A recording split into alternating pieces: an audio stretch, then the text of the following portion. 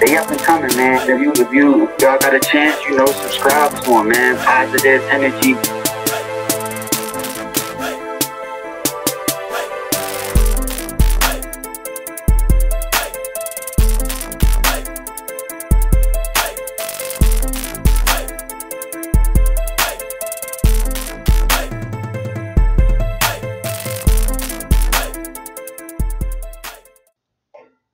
What up, what up, what up, what up with it? It's your boy, PE to the PE, Positive Energy, aka Bud Butts, aka HI, aka Pep A Spliff. Y'all know what it man is, man. It's all about that peace, that positive energy showing constant elevation, constantly elevating over here, moving and grooving and doing what I'm doing. You know what I mean? So, man, uh, I very first started making these videos, this was what it was about, man. It was about leading up to this particular week. It is here, man. This the week we waiting all year, every year for. Where tensions is at all time high. Everybody is on a fever pitch, and y'all don't know what I'm talking about, man. I'm talking about here in Ohio and across the world. Don't no high school football rivalry get no bigger than Canton McKinley and the Massillon Tigers. You know what I'm saying? It just don't get no bigger. You go to Vegas, go to the Vegas bookies right now, and you're gonna have the only high school on the on the line that you can bet for in the country is this one here, man. The hundredth meeting was covered by Sports Illustrated. My cousin, the coach of the linebackers for Canton McKinley right now, Frank McLeod, Boo man, Coach Boo played in the hundredth meeting. The rivalry is intense. You got the number one all-time football wins in Ohio history in Massillon, Washington, versus the number two all-time in high school football wins in Canton McKinley Bulldogs. It just, it just, man, this goes back to the man. This rivalry goes back to the 1800s, man. Stop playing with me, man. This is a century long beef, eight miles apart. And not only do you have a rivalry, what other rivalry will you have the two top teams in the state all time within eight miles of each other? Both teams will sleep in their own beds the night before the game. You know what I'm saying? Where else you gonna get a rivalry with two top ten teams nationally are within eight miles of each other?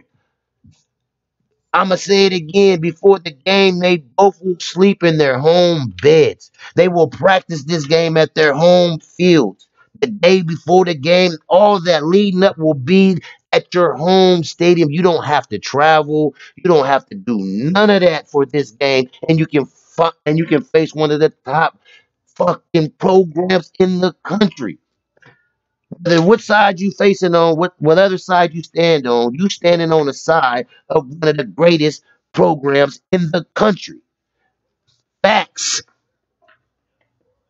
facts. And we just gonna keep it on football because you know y'all really ain't compared to us because we do this in basketball too. Same thing I'm preaching about us in football. I can preach a little bit harder for us in basketball because we number one in basketball. Where y'all at in football? Massa in basketball, huh? Huh? Y'all in the top 10 in the state of Ohio all time in basketball? Y'all never want to talk about basketball. Y'all want to keep it to this football. But we do this football too. We can keep it there right now because y'all don't want to take it nowhere else. You know what I'm saying? You already know what it is. Like I said, and I'm going to keep saying, it's McKinley versus Stark County. Everybody in the county is against us. I don't care if you went to Timken. I don't care if you went to Ghetto, Canton South, Perry, Jackson, North Canton, Lake, motherfucking anywhere in the county, Alliance, all of them against McKinley. Everybody want us to go down. Everybody want the, the hood niggas to go down. Let's keep it like let's keep it thuggish like it what it is. Everybody want to see the hood fall. Nobody want to see them hood brothers out there balling and getting their grind.